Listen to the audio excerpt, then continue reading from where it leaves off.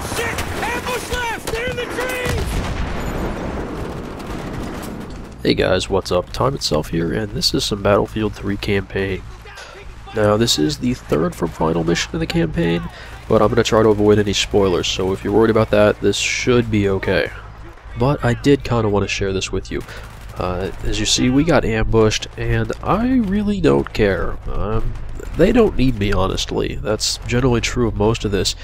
You're just along for the ride for most of it. They'll tell you you have to kill something, you have to do something. It turns out you actually don't. They're just yelling at you because they like yelling, and your actual participation is more or less voluntary. And this is the hardest difficulty of this campaign. You know, it's only hard. There are only three difficulty levels. There's not an expert, a legendary, or veteran uh, to give some uh, similar difficulties in other games. And this is not a terribly hard difficulty setting. As you see here, I'm just like, you guys don't need me. Do you, do I have to kill someone? Is this? I was thinking, you know, maybe I could play through this level as a pacifist, and you know, actually, I don't think you could, but like, am I really? Do I have to shoot someone? Is is this something I have to do? Can you not take care of it here?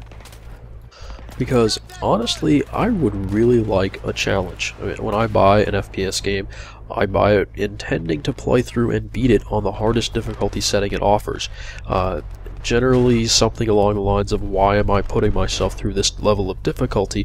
Because in the end I usually feel like I come out of it being a better player at least in some regard. You know in some way I have managed to improve the game has forced me to improve. And that's why I play these on hard to start with so that it forces me to understand the game mechanics and what I'm supposed to be doing so that when I finally get to that really hard level difficulty I can actually you know I'm not behind. So this is what I decided to do I'm gonna knife only. I'm I killed that first guy with my gun, but for the rest of the game, I'm gonna try to only knife people and see if I can do this. So, as a wannabe, only use me blade or proc Samson, take your pick. I'm gonna get through this level of the campaign from here on out. Uh, there are gonna be some parts where I have to destroy vehicles and they make me take out the rocket launcher, and I'll I'll do that at that point. But as far as infantry, knife only. And obviously, since it's the campaign, there's lots of just running around, and then since I'm trying to knife only, there's lots of crawling around, so I am going to speed up a lot of the parts of it, uh, just try to keep this video reasonably short. When you're doing something like this, or even just going for a veteran or expert or legendary playthrough, it's important to consider the game how the designer had to design it. And by that I mean what they did to decide where the next checkpoint was going to be. And in this game, Battlefield, it's very similar to the Call of Duty series and Homefront, uh, especially, I mean, they're just the same style of game. But in general, there are three qualifications to get to the next checkpoint, and that is kill so many people, wait so long, or hold out for such amount of a time, or get to a certain point on the map. And in general, this game uses, it seems to be all three of those.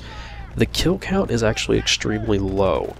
And so, you know, you get three or four guys down, and you're considered to have done your share of the work, and that will be all the people you have to kill, as your teammates will do the rest. Uh, it's a good thing, bad thing. Your teammates here are competent and will kill people, but that also means that you can do things like this, and you don't really have to contribute that much to get through it.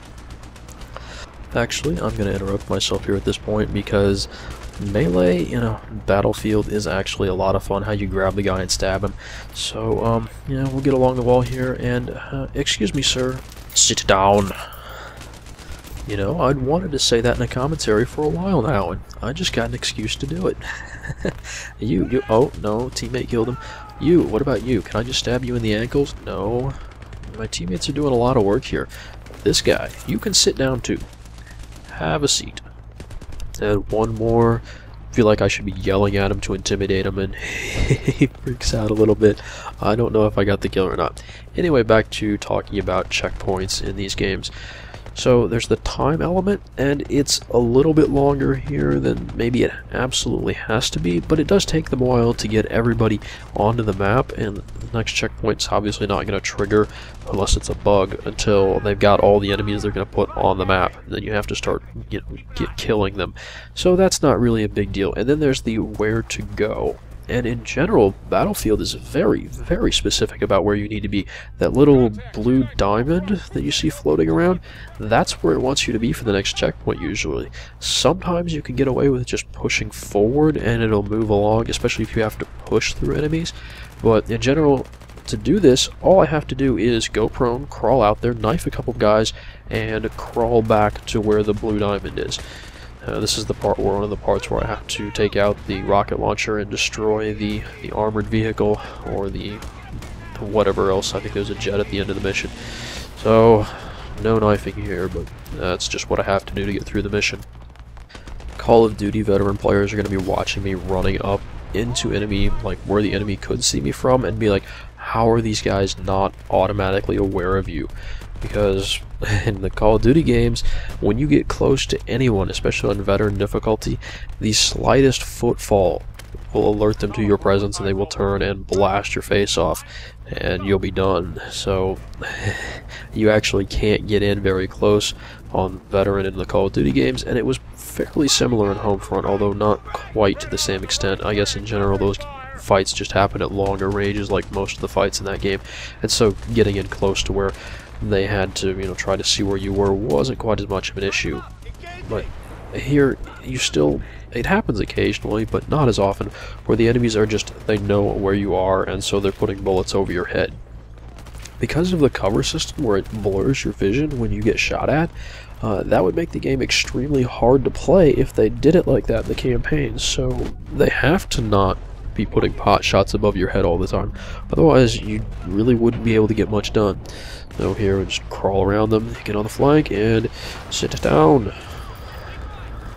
I know some people probably aren't going to think the references to Call of Duty or Homefront are appropriate, but I think they are extremely appropriate. This game plays very, very similarly. I was expecting something, you know, a little bit different with how they emphasize teamwork and multiplayer, but uh, it doesn't really happen. And I know with all the vehicles in multiplayer, I was hoping for something, you know, I would get to fly a jet or a helicopter in the campaign, you know, actually practice a little bit for the single from the single player, be ready for multiplayer, and no, there's none of that either, so just get to run around and knife people because uh, I wanted a challenge, and no, this this was an adequate challenge for this level.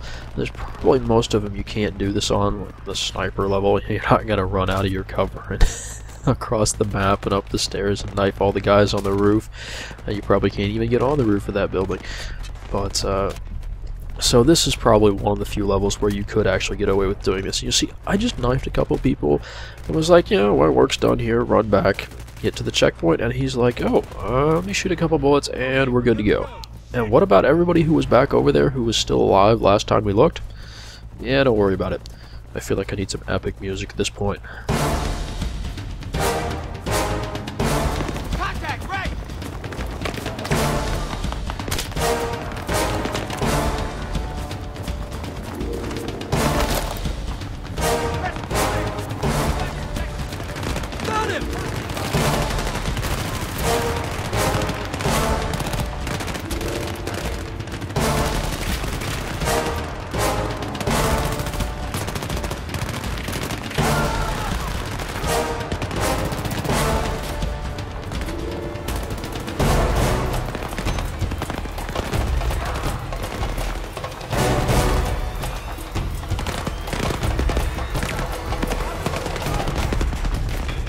Now I know you're thinking time.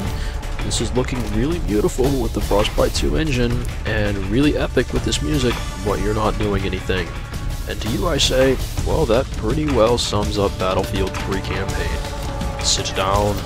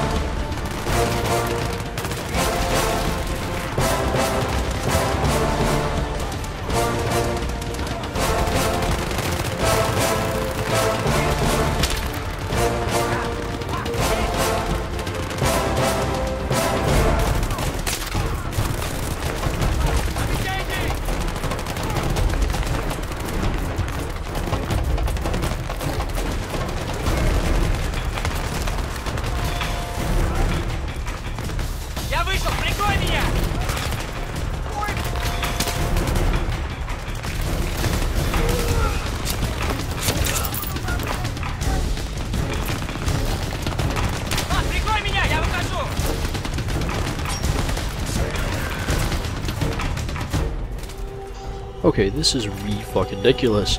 Are you sure this is hard? Like, are, are you serious? You, uh, this is... I, I don't... Yes, this is hard. Okay, well, let's keep going.